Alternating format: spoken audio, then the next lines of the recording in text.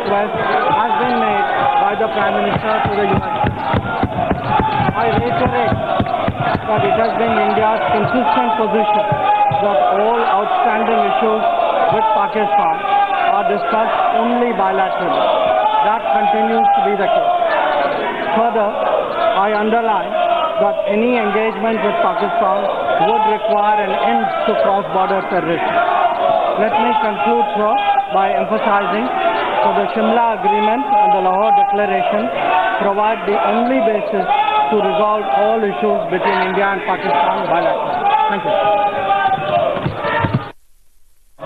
माननीय गृह मंत्री जी अध्यक्ष जी शोर शराबे में पूरा बयान दोबारा सदस्य नहीं सुन पाए मेरा निवेदन है एक बार फिर से उनको माननीय मंत्री जी, दोबारा बयान फिर से एक बार दोबारा पूरा माननीय सदस्यगण आप शांत रहे, माननीय मंत्री जी का ही इंकित होगा माननीय मंत्री जी Thank you.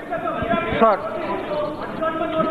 yesterday, the President of the United States of America made certain remarks to the press after a meeting with the Prime Minister of Pakistan.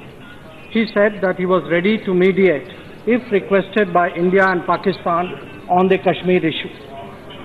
I assure the House categorically that no such request has been made by Prime Minister.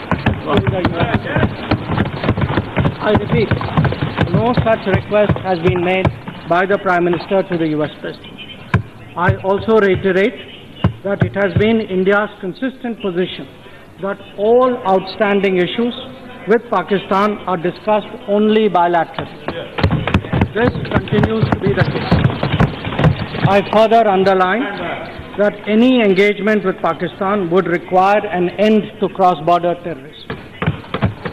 Let me conclude, sir, by emphasizing that the Shimla Agreement and the Lahore Declaration provide the only basis to resolve all issues between India and Pakistan bilaterally. Thank you.